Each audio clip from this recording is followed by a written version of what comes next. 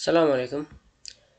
اليوم إن شاء الله reactions الجزء الثاني تحضيرات الألدهايد.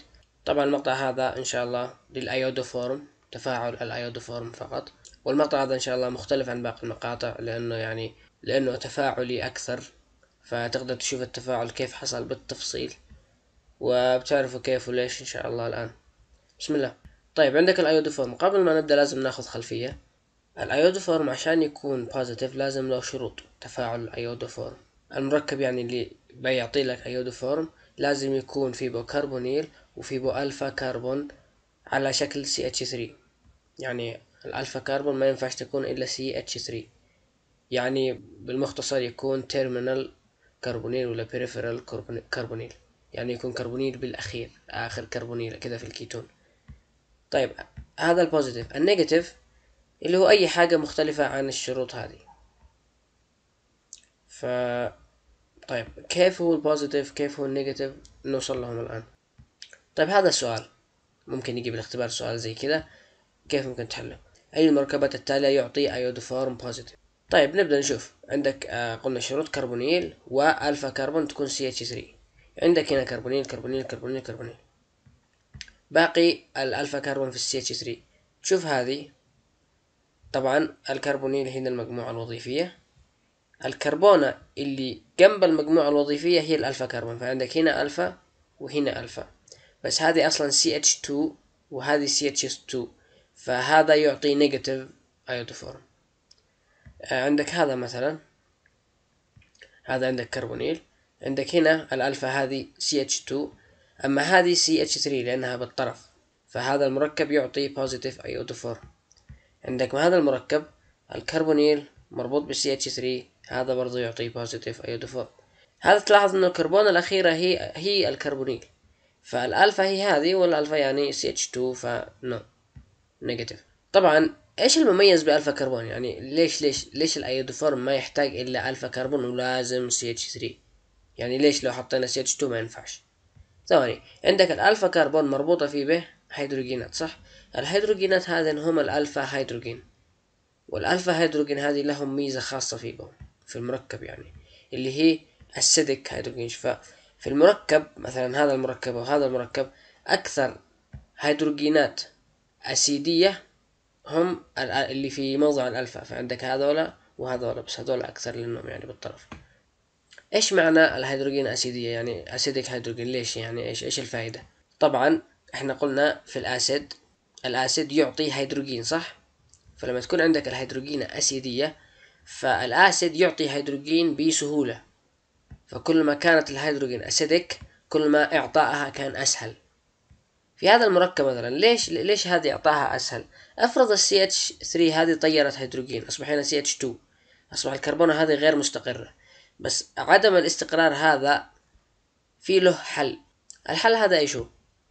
افرض عندك هذا المركب الآن هنا عندك ال CH هذه يا تكون سي اتش أو سي اتش 1 أو سي اتش 2 يعني إن الكربونة هذه غير مستقرة طيب لما تكون غير مستقرة فتكون الإشارة negative طبعا ليش negative طبعا هذه negative مهمة جدا ونقول لكم ليش. طيب افرض الآن الكربونة هذه غير مستقرة. كيف ممكن تصبح مستقرة؟ تصبح مستقرة بال resonance فال carbonyl هذا يقدر يعمل resonance مع الكربونة هذه ويعدل الاستقرارية. عشان كذا إحنا ما نحتاجش أصلا هيدروجينا عشان كده تكون هيدروجينا acidic لأنه إحنا ما نحتاجهاش أساسا. تخلصوا منه سهل. فال resonance form طبعا شوفوا الحركة السحرية. فال resonance form لهذا تكون كالتالي. يصبح هذا غير مستقر وهذا أصبح مستقر لأنه كون رابطتين. طبعا تلاحظ هنا عندك فيه البنزينة ال resonance حق البنزينة كالتالي. هذا هو ال resonance حق البنزينة. الرابط الثنائية كيف تتحرك؟ اللي بعده نبدأ الآن بالتفاعل. تفاعل ال iodoform The general reaction. طيب عندك الآن كيتون. طيب زي ما قلنا حقق الشروط.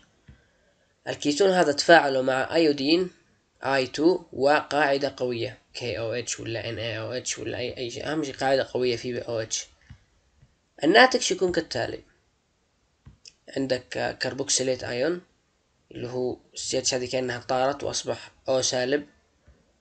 وبرضو عندك ال iodoform ال iodoform اللي هو HCI 3 CI هنا يعني iodine.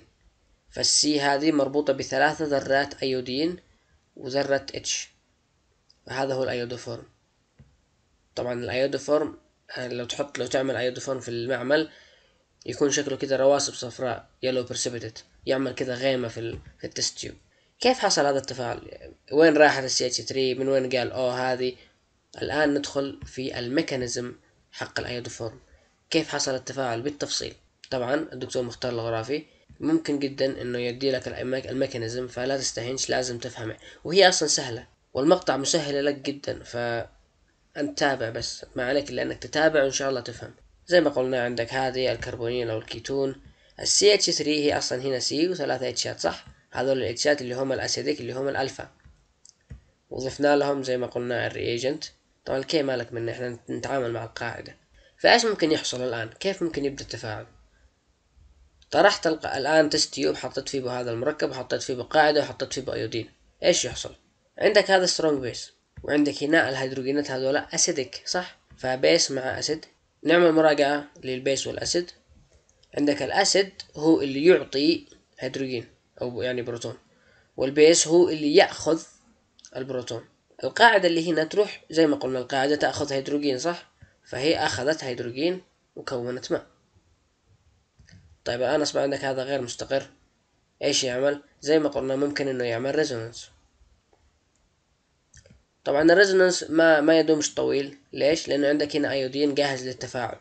فيدخل هنا ويخلصهم خلاص بدل ما تجلسوا وتروحوا وترجعوا وتروحوا وترجعوا ال iodine يقوم بالوظيفة. فيجي ال iodine يمسك في الكربون الغير مستقرة ويعمل معاها رابطة. طيب مراجعة سريعة اللي حصل. أو اتش أخذ اتش والآيودين جاء حل محله. الخطوتين هذولا اللي هو خروج الماء ودخول ال iodine هي نفسها تحصل هنا وهنا وهنا.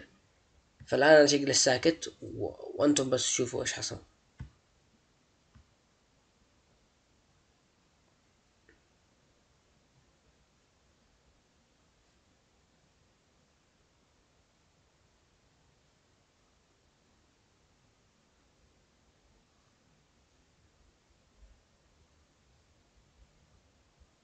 فإن شاء الله تكون وضحت.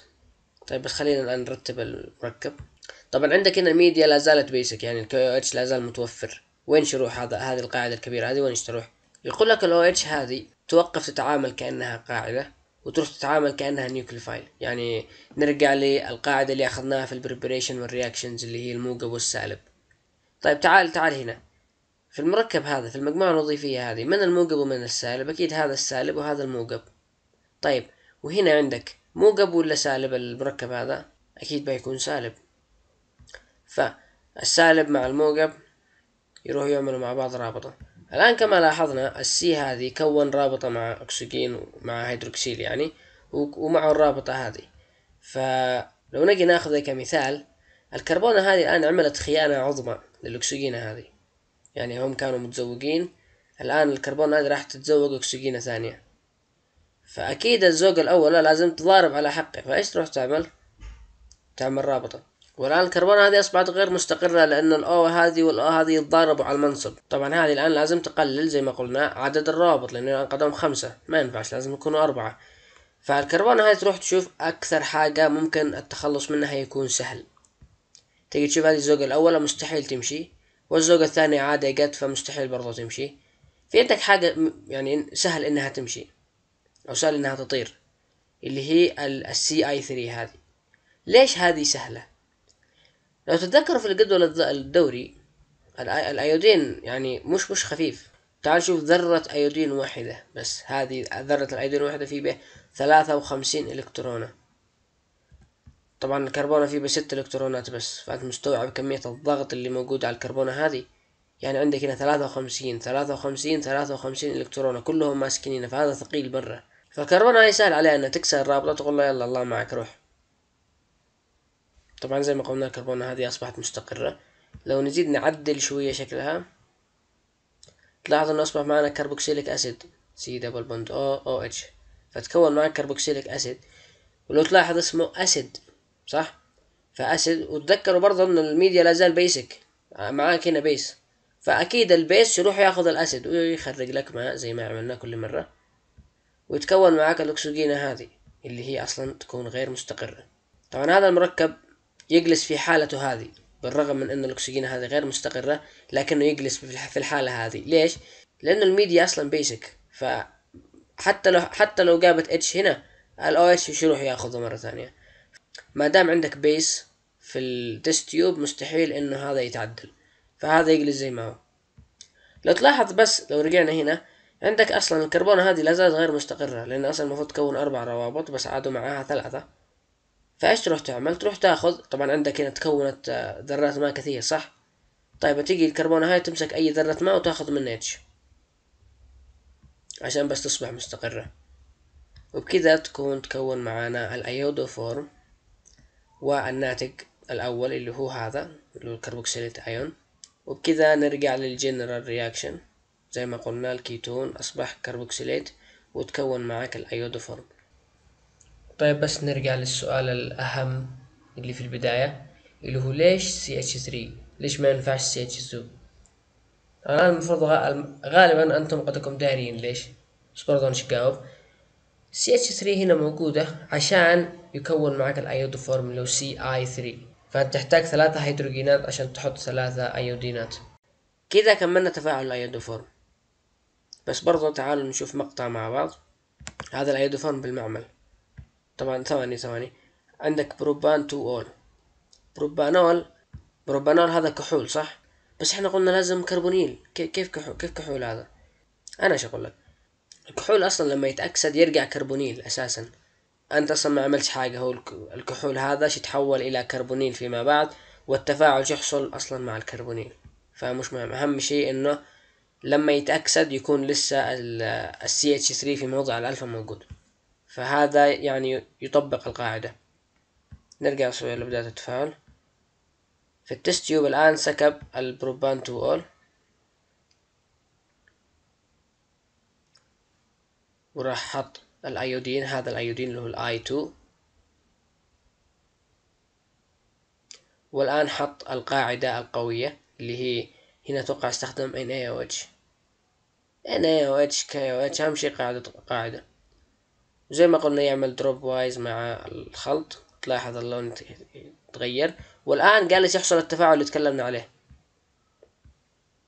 المهم ركزوا بس إيش يحصل الآن. لو تيجي تلاحظ ثواني أوقف المقطع. لو تيجي تلاحظ هنا زي ما قلنا آه، أصبحت غيمة. غيمة من الرواسب الصفراء. فالآن هذه بس يعني بعد ما تستقر شوية ونتخلص من السوائل تحصل هنا مليان سوائل صفراء اللي هي ال iodoform اللي تكونت. فالآن يجي واحد يسألك إيش هو ال iodoform reaction تكون قدك داري وفاهم كيف يحصل بالتفصيل. وبكذا نكون كملنا مقطع ال iodoform. إن شاء الله كان المقطع مفيد. إن شاء الله الأسلوب الجديد للشرح عجبكم اللي هي الانيميشنز والتحريكات والهيدروجينات كيف تروح وترجع. هذه إن شاء الله ناوي أعتمدها على باقي المقاطع إن شاء الله. وبس دمتم سالمين.